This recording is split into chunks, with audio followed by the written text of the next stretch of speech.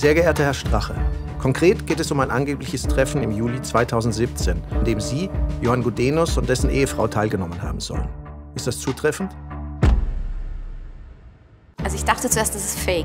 Wirklich fake. Ich konnte es nicht glauben. Also was kann man nicht schreiben? Ein Video setzt FPÖ-Chef und Vizekanzler Heinz-Christian Strache massiv unter Druck. Ich bin gerade nach Wien gekommen und ich stand an diesem Ballhausplatz unter den Leuten, den Demonstranten, die nach äh, Neuwahlen geschrien haben. Man muss immer überlegen, was damals mit der politischen Landschaft passiert ist. Das ist hier explodiert.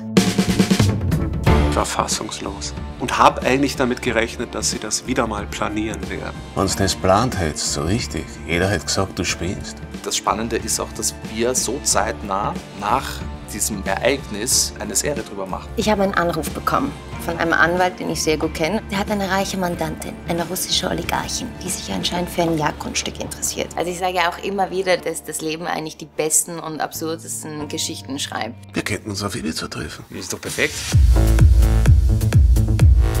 In meinem Leben kann ich mich nicht erinnern, dass ein Politiker so ausgehebelt wurde. Sie will groß einsteigen bei der Krone. Sie will ich unbedingt kennenlernen. Wenn du es auf den 24. legen kannst, bin ich dabei. Na, es ist an und für sich schon eine Farce. Nice to meet you, Christian. Darum hat ja auch jeder, glaube ich, wie das Video rausgekommen ist. Also, wow, was?